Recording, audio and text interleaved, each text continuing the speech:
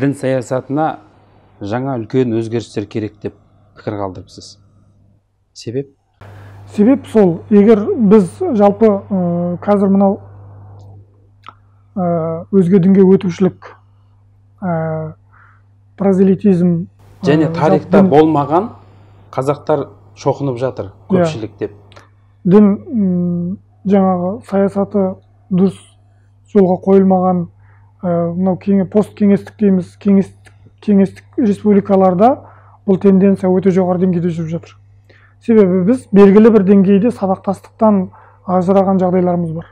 Түбегейлі емес бірақ оқу жағынан болсын ол өткендердің мұрағаттарын зерттеу жағынан болсын өткен ата бабаларымыздың жаңағы шығармаларын оқу жағынан болсын бізде бір идеологиялық хаос кеңістік пайда болған. Сол кеңістіктен кім талпыныс жасап жатыр сол орын алып жатыр ә, білесіздер патшалық ресей кезеңінде шоқындыру саясаты саналы түрде жүргізілген қазақ халқы шоқынған жоқ. Қанша жұмыс жасалды заказной указной молдалар болды қанша патшалық ресейдің сая бірақ қазақ өзге дінге өткен жоқ. Яғни ахмет байтұрсыновтың сөзі бар енді қазақты басқа дінге өткіземін деу құра деген бұл деген сөз біз идеологиялық жағынан тұрақты қалыпты белгілі бір көзқарастарды негізде негізде қалыптасқан діни сенімі бар ұлтқа айналдық деген сөз ал қазір тәуелсіздіктен кейін не болды? Ә, сиырдың бүйрегі сияқты әртүрлі ағымдар кіріп ол әрине біз мынау құқықтық халықаралық қатынастар инвестиция тағы басқа экономикалық мәселелер ол бір басына.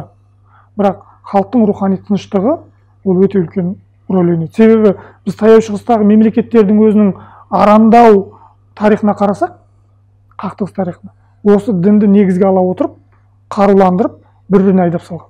Жаңа өкінішке қарай жаңағы азаматтардан сұрасаңыз кәпір деген кім? деп олар сырттан іздемейді. Ол мұсылмандардың ішінен іздейді. Кім намаз оқымаса кім алла тағаланы ұлықтамаса кім жаңағы иман еткен нәрсесін амал қылмаса кім ананы істемесе кім мынаны сол кәпір. Ал бізде негізі қазақтың дүниетанымында мұсылманның дүниетанымында кәпір деген ка- категория басқаша еді. Қазір олар басқаша. Демек жауды іштен іздеу тенденциясы бар.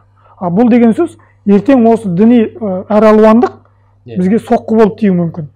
Әрине этностардың өздерінің ұстанатын діндері болу заңдылық шығар. Бірақ бір этностың мемлекеттік құраушы ұлт ретінде қазақ ұлтының әртүрлі конфессияларға бөлінуі қазіргі жағдайда. Ертең үлкен трагедияның фундамент, фундаменті болуы мүмкін. Қазір тудырған тудырмағанымен ертең жақтастар көбейген кезде осыны біреулер пайдалануы мүмкін. Сондықтан ел болам десең бесігіңді түзе демекші біз қазірден бастап осының алдын ала бастауымыз керек. Қазірден бастап қатаң шешімдер қабылдай бастауымыз керек. Қазірден бастап қатаң реттеу жаңағы тетіктерін қоса бастауымыз керек. Сонда ертеңгі бүлінушіліктің алдын аламыз деген менің өзімнің ойым бар. Әрине бұл болашаққа деген бір уайымнан болашаққа деген бір күдіктен болашаққа деген бір қауіптен туындаған дегенмен бізде қоғамда мемлекетте бұл дін саласының саясатында үлкен өзгерістер үлкен жұмыстар атқарылды ғой. Атқарылып жатыр. бұрынға қарағанда бүгінгі таңда мынау радикалды деструктивті ағымдардың жетегіне кетушілердің саны тоқтаған тіпті азайған деген мәліметтер бар. Олар райынан қайтып жатыр кез келген жерде діни әдебиеттерді сату оны тарату деген мүмкіндіктің бәрі шектеулі. Тек діни қызметке ә, ресми тіркеуден өткендер ғана мамандар жұмыс жасап жатыр дегендей. Дұрыс жалпылама алған кезде бізде оң тенденциялар байқалады. Енді қу шөппен ауыз сүртуге болмайды жасалып жатқан шаруалар да бар. Бірақ нақты жасалатын қадамдар да бар. Біз көп жағдайларда жаңа радикализм бойынша келетін болсақ радикалды азаматтармен біз идеологиялық жұмыс жүргізіп жатырмыз. Ол нәтижесі қаншалықты болып жатыр? Қанша адамның бетін бері қаратып жатырмыз? Қанша адамның беті ары қарап жатыр? Біз қанша қаншанға дейін олардың есігіне барып жалынамыз? Айналайын менімен сөйлес теологпен сөйлес айналайын жаңағы сенің көзқарасың дұрыс емес деп қашанға дейін олардың артынан ереміз. Оның осының тетіктерін қатаң қабылдау керек. Қашанға дейін біз басқа азаматтарға жаңағы ойбай айналайын сен діни плюрализм еркің бар конституция бойынша құқың бар мына ағымға кірсең де ана ағымға кірсең де өзің білесің деп отырамыз. Біз неге өзіміз жастарға балаға жаңағы мектеп жасынан бастап өзіміздің дәстүрлі бағытымыз бойынша нақты бағыт бермейміз? Біз қашанға дейін осыны біз зайырлық деп өзіміздің өткен жолымызды балаларға үйретуден қашқақтаймыз. Осы осы кездерде қазір мемлекет нақты шешімдер шығару. Керек яғни мысалы көрші ресейдің өзі православие мәдениеті мен ә, дін тарихын оқытып жатыр. Неге біз өзіміздің ата бабамыздың ұстанған ұстанымдарын нақты үйретпейміз? Сол біз айтамыз сіз теріс иә сол үшін мен айтамын. Рухани адамгершілік құндылықтар пәнін сол үшін рухани адамгершілік құндылықтар деп отырғаным сол біз қазір дін десек қорқамыз.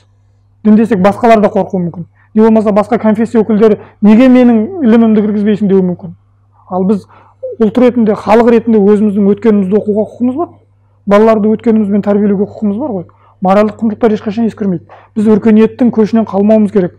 Ғылым технология бүкіл жетістіктерді пайдалануымыз керек. Бірақ адамгершілігіміз өткенмен сабақтасып жату керек. Яғни жаңағы дәстүрімізге сіңген діни иә өзіміздің дәстүріміз дәстүрімізге сенген өзіміздің бірыңғайлығымызды ұлт жаңа ұлттық ерекшеліктерімізді ә, толық қамтамасыз ете алатын себебі менің бір айтып жатқан мәселем бізге осы радикализм болсын прозелитизм басқа да болсын жаңа басқа да ағымдар кетіп бұл рухани жұтаңдықтан ешбір адам өзінің руханиятын толық біліп тұрып мен қазақ халқының осы руханиятының мына жері кемшіл болғаны үшін мында кеттім деп айтпайды.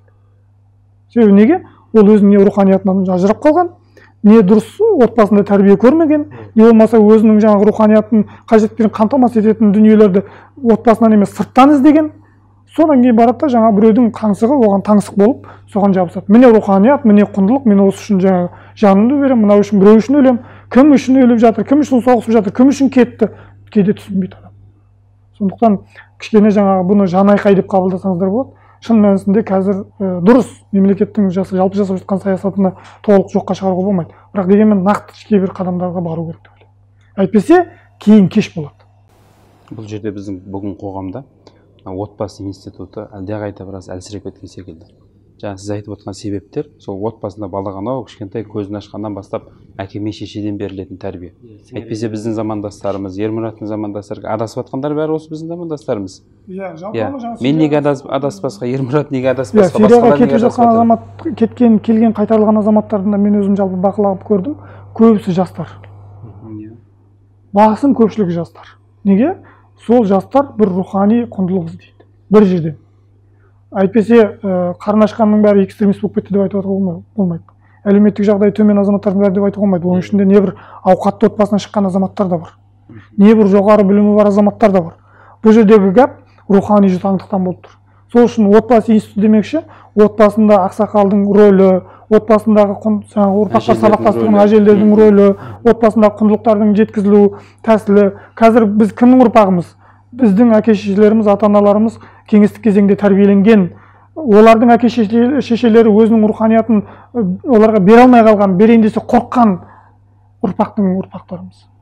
Сондықтан олар кішкене дағдарысқа түскендіктен бізге қазір әке шеше бағыт бағдар бере алмай қалып жатыр. Сол үшін де мен жаңа мектепке енгізу керек деп жатқан мәселем солай. Әйтпесе әр отбасы өзінің ұрпағын өзінің баласын өзі тәрбиелеуге міндетті. Бірақ кейде ата аналар да бұны түсінбей жатады. Руханият деген не ұлт деген не біздің ұлттық құндылықтарымыз деген не жаңағы біздің адамгершілік нормаларымыз неге сүйенеді? Жаңағы абайдың шәкәрімнің мәшһүрдің ары қарай кететін болсақ жаңағы одан да үлкен баласағұндардың ә, қашқарилердің яссауилердің ілімі. Ол қайдан шығып жатыр ол қандай нәрсені уағыздайды ішінде мазмұнында не бар? Қандай тәрбие береді балаға? Ә, руханият деген не баланы тәрбиелеу деген тек қана білім беру керек емес. Өйткені тәрбиесіз берілген білім адамзаттың қашауы опат әкеледі дейді. а тәрбие мен білімді біз шатастырып алдық қазір. Мен балам тәрбиелеу бәленшедегі университетте оқытып жатырмын дейді мақтанады бірақ оның іші руханияты бос. Ал одан кейін жаңағы теріс ағым өкілі қай уақытта оған жолығады сол кезде оның қолынан береді. Жетегіне кете береді. Себебі рухани хаос.